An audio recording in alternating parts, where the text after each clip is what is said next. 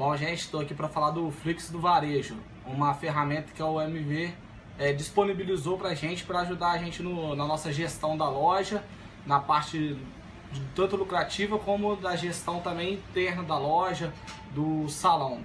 É, vou falar da série que eu mais gostei, foi essa série aqui, ó, Lucratividade, que tem a galinha dos ovos de ouro, tem uma dica bacana, esse pão na massa aqui, top de linha, esse, esse, esse fragrâncias e cores sabores que eu já implantei na loja já, tá dando resultado já.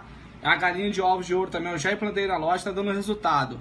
É só vocês entrar no Flix do Varejo, conferir e meter bronca. Vamos para cima. Vamos para cima que o Flix do Varejo, a Universidade de Martins está disponibilizando essa ferramenta e é para ser usada, para botar em ação. Isso aí, galera. Valeu.